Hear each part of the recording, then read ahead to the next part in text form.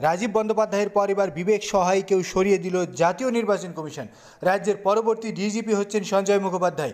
সঞ্জয়ের নামেই চূড়ান্ত সিলমোহর দিল জাতীয় নির্বাচন কমিশন। গতকাল রাজীব কুমারকে ডিজিপির পদ থেকে সরিয়ে দেওয়া হয়। এরপর অন্তর্বর্তী ডিজিপির দায়িত্বে আসেন বিবেক সহায়। কমিশনের নির্দেশ অনুযায়ী তিন আইপিএস অফিসারের নাম পাঠিয়েছিল রাজ্য সরকার। বিবেক সহায়, সঞ্জয় মুখোপাধ্যায়, রাজেশ কুমার। তাদের তিনজনের নাম প্রস্তাব করা হয়। ওই তিন নামের মধ্যে থেকে ডিজিহিপি হিসাবে সঞ্জয়ের নামে শেষমেশ ফাইনাল সিলমোহর দিল নির্বাচন কমিশন। উনিশশো উননব্বই ব্যাচের আইপিএস সঞ্জয় মুখোপাধ্যায় বর্তমানে দমকলের ডিজির দায়িত্বে আছেন। আজ বিকেল পাঁচটার মধ্যে সঞ্জয় মুখোপাধ্যায়কে দমকলের ডিজির দায়িত্ব থেকে সরে এসে রাজ্যের ডিজিপির দায়িত্ব নেওয়ার নির্দেশ দিল জাতীয় নির্বাচন কমিশন।